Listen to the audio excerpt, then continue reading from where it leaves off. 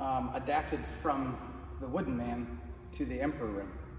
So in this version of the wooden man, the arms are straight up and down, allowing us to work the inside as opposed to in and around straight arms. There's lots of different types of wooden men, all right? So uh, in this first one, I'm gonna start kick and then hands up. So this uh, initial bridge is really just about um, intercepting anything. So it's about guarding my head. So when I come in, I'm gonna bring my, my arms out and I'm gonna bridge on the inside of the arms. So I kick, bridge. Then I'm gonna change the bridge. I'm gonna go one, two, as if my opponent attacks, I'm gonna move. And then I'm gonna strike three times. I'm gonna go one, two, three, straight out. All right, then I'm gonna block or attack up at an angle, keeping my guard hand right in the middle of the frame. Um, after that, I'm gonna hammer fist straight down. I'm gonna drop my body weight when I do it, and then punch straight forward. Okay, so I'm gonna come in, kick, bridge, change the bridge, three hits here. I'm gonna either block or strike, drop, punch. Okay, so that's the combination I'm going to adapt to the ring. So, boom, boom, boom, boom, and I can come back, and then I can guard again. So I can cut back and then press and strike, or this is basically where I'm gonna stop, right? So when I take the ring, if I don't have a dummy, or if I wanna work on my footwork more, I'm gonna start with my hands on the outside of the ring, um, do my kick, and then shoot through. When I shoot through, I wanna make sure I hit my forearms on the inside of the ring to uh, simulate my opponent striking at me. So I need to snap my hands out meaningfully, all right?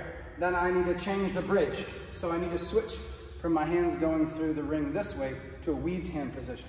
So just like I did one, two, I'm going to do one, two, okay? Now I'm gonna strike three times.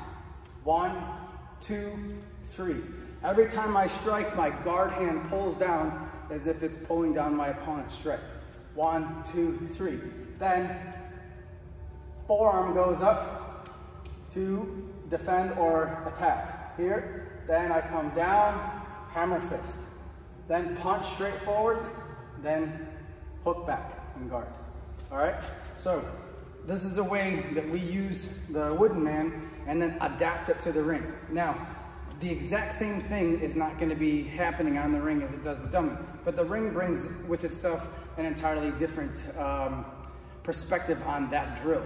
There's a, the sensitivity aspect of it, the hard and soft aspect of it, um, as well as the mobility because I can do this drill and I can add more footwork to it and I can move around. So again, with the dummy, I kick and enter and make my bridge.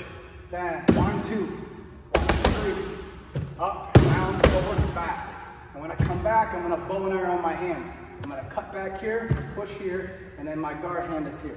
This could be um, close quarters uh, exchange where I cut back and push my hand forward.